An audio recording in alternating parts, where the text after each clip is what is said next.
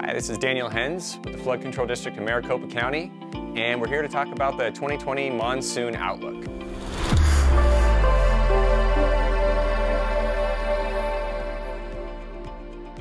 The season officially runs from June 15th to September 30th.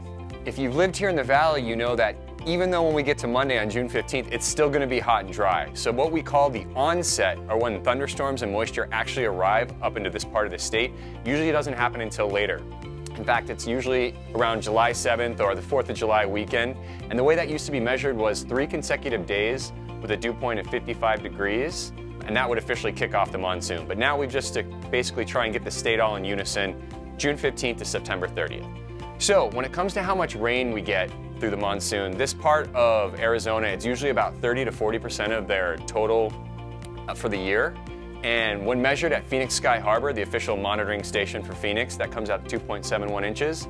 But then if we look at all of the rain that falls on average around the entire county, it's actually closer to three inches. Our 30-year average here is 2.97 inches. What you're looking at here is the last 37 years worth of rainfall for monsoon seasons. This is data when averaged across all of our alert gauges and you can see it actually has this kind of roller coaster look. The far left of the graph is 1983, the far right was last season in 2019. Um, of note, it's always like to point out 2014 there, we actually had uh, nearly seven inches of rain, which is almost double, no, more than double than what we typically see. And then again, a really dry year in 2019, actually at the airport, we received 0.66 inches of rain, which was very, very dry. Um, but when averaged across the county, because we had a late season uh, big major event, we got closer to normal. We were just over two and a half inches. Let's take a look at the monsoon in general and the basics principles behind what's going on here. In general, for most of the year, winds blow from west to east. However, when we go to the North American monsoon in the summer, July through September, the winds actually change from more out of the south to southeast. The main driver behind that is intense heating during the summer months across central Mexico. It actually helps drive a 500 millibar ridge north up into the desert southwest. Clockwise flow around that high helps to bring moisture north into Arizona from Mexico as well as the Gulf of Mexico. As well, we also get this thermal heat low in the southwest part of Arizona that moves moisture north into Arizona out of the Gulf of uh, California. So when you get enough moisture, you finally get thunderstorms over the higher terrain. And eventually, when we get enough of the moisture when we have some of the forcing mechanisms like outflow boundaries from the higher terrain, that can actually get us thunderstorms down here in the valley. That's what we like to see. But the main feature of this is that monsoon ridge. That ridge location is really key in determining uh, favorable patterns for us to see rain. We have four historical favorable ridge locations. So the, the, the, setup I just described is what we call our four corners high, and it's most typically seen in the, the main part of the monsoon.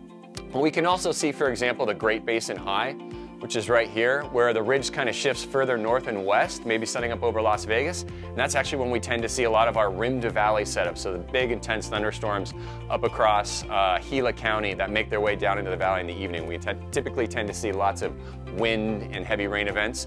Then we also have what's called the trapping high here, where we may have some upper level disturbance that actually gets stuck across southern Arizona. Again, increased moisture forcing from that event can help drive lots of thunderstorms. We can tend to see lots of flooding. And then what we have is our West Texas, New Mexico high, which is this one here on the bottom left. And that's kind of like, we call that the granddaddy of them all. It's, it's all or nothing pattern. So usually the beginning of the monsoon and the end of the monsoon, we'll see this kind of pattern where we have southwesterly flow, we may or may not have moisture, but as we get later into the season, this pattern is actually very conducive for pulling moisture from hurricanes or tropical systems up from the Gulf of California and into Arizona, as well as giving early season uh, low pressure systems can actually get pulled. Even while we're still in our monsoon pattern, we can get significant rain events.